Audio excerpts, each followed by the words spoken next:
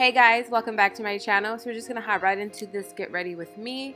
So I'm to start by priming my eyes. I like to use concealer. I'm using the NARS uh, Medium Dark 2 Caramel to conceal my eyes. Um, and then we're just to hop right into eyeshadow. So I'm to be taking the PUR Festival eyeshadow palette and the first shade I'm picking up is Epic and it's kind of like a sandy orange shade and I like to use that to set the, um, the concealer just because it's a really nice transition shade um, it's a neutral color, so it's the perfect shade as the base. Um, next, I'm going to go in with the Hidden Desert, which is kind of like a rusty orangish reddish, like a deep, deep, deep, deep orange shade. And I'm going to apply that in the crease area and blend that out. Um, and I just really like working with these orangey red colors. They just look really, really, really nice on my eyes. Um, so to contour my outer corner, I'm going to take All Night, which is like a deep, deep brown, dark brown shade. I'm going to use that just to kind of give my eye um, a little bit of shape. And then for the color on my lid, I'm taking Psychedelic. Such a cute name. Actually, all the names in these um, in this palette are like really, really pretty. Kind of like hippie a little bit. Um, granted, it's like festival, you know. But it, this shade is going to be like a, a gold shade. And the pigment in these eyeshadow palettes are really, really nice. Like, I didn't even like grab a whole lot on my brush and it looks so nice. Next I'm going to go in with my primer. And this is the Lancome La Base primer and this is a silicone primer actually. So this is just going to help um, create a really really smooth perfect base for foundation and then this primer also helps with minimizing pores as well. The foundation I'm going to be using is the foundation I wear all the time. It's the NARS Stay All Day Luminous Foundation. I think that's how you say it. I always get the name wrong. But I wear this foundation all the time. I just haven't found a foundation that really gives me the type of coverage and finish that this one does but um, this one is in the shade Tahoe and I feel like this color is a little bit too light I know on the camera it seems like it looks good but like in person just from like taking pictures and just looking at my face in like certain lighting I feel like it looks too light for me.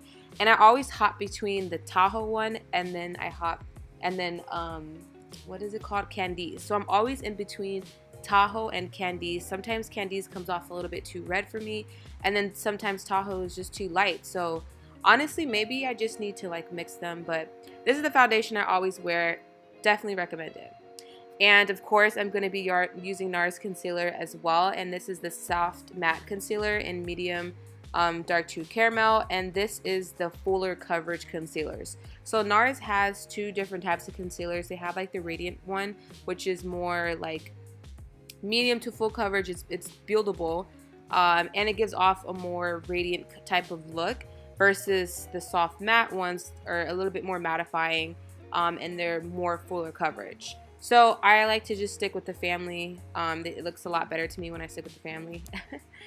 the second concealer I'm going to be using is again the NARS Soft Matte Cream. And this is in the shade Medium 1 Custard.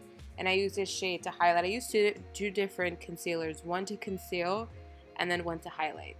I know that's a little extra, but I just like the, the coverage that it gives me when I use both um, versus just doing one like um, highlight color. So I'm just to blend that out with my Beauty Blender.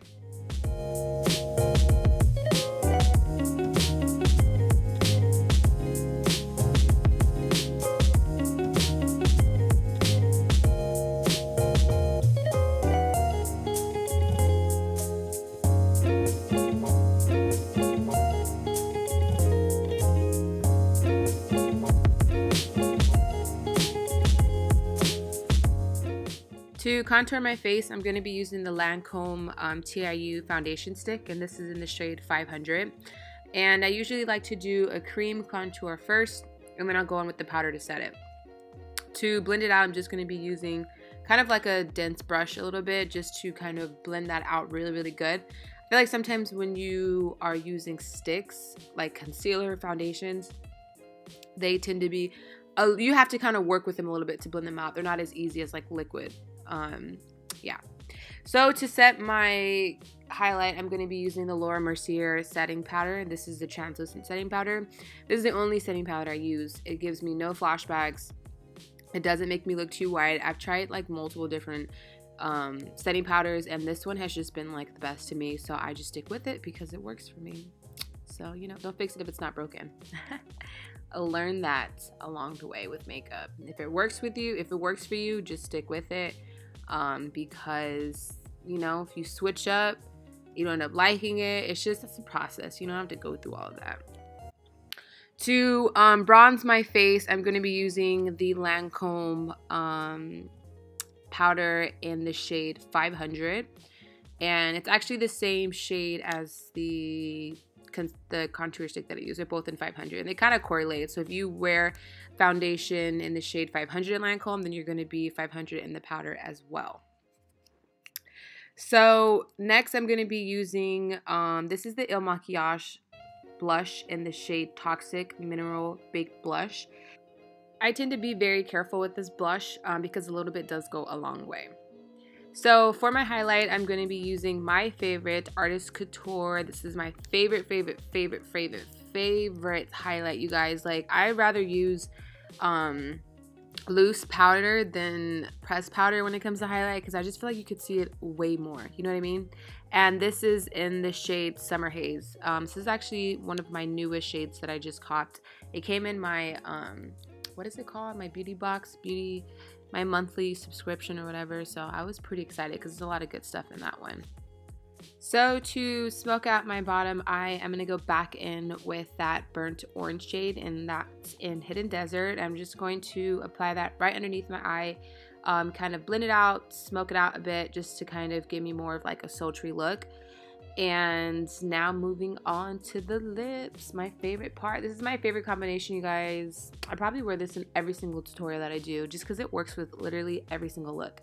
But I'm going to be using a brown liner this one is actually from Il Makiage. And then I go in with my NYX um, Soft Matte in number four. So that's pretty much the finished look for today's makeup tutorial. I'm not going to show you guys my outfit for today. These shoes are from Simmi Shoes. And let's get into this outfit, sis. So I have this uh, off-the-shoulder uh, top, crop top from Pretty Little Thing. And these high-waisted black shorts are from Fashion Nova. The bag that I'm wearing is from Teddy Blake and it's 100% genuine Italian leather, you guys. You could just really tell how high quality this bag is and how they just paid really close attention to detail. And it just kind of has like an imaginative design and shape to it, especially with the diamonds and the triangle cut out in the front. It's really, really nice. And I especially love that it comes with this little um, pocket wallet inside of the bag that's attached to it to where you could put like your car keys, your um, money, phone, anything like that can go in there.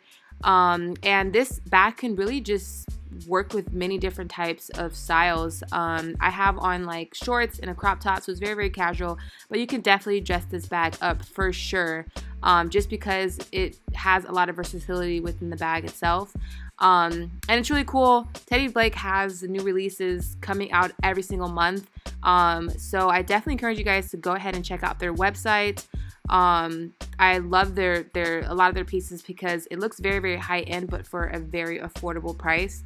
Um, so definitely check them out. I will leave my code um, down below as well. But yeah, I hope you guys enjoyed this video and don't forget to subscribe and thumbs up and I'll see you guys next time.